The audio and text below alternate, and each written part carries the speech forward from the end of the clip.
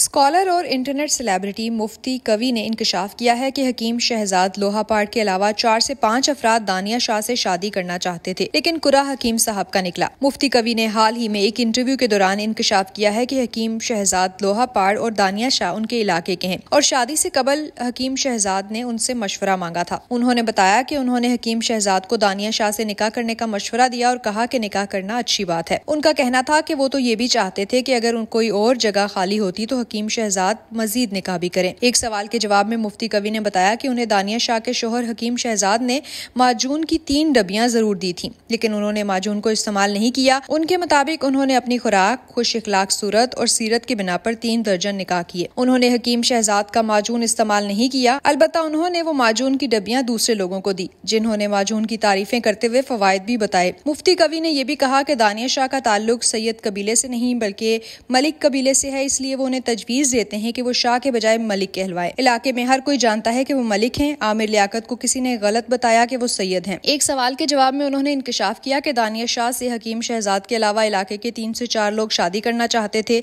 जबकि दुबई का एक शख्स भी उनसे निकाह करना चाहता था। उन्होंने वाजे किया कि वो दानिया शाह से निकाह के उम्मीदवार नहीं थे, लेकिन उनसे दूसरे लोग भी शादी करना चाहते थे। ताहम कुर्रा हकीम शहजाद के नाम निकला और उनकी दुआएँ जोड़े के साथ हैं।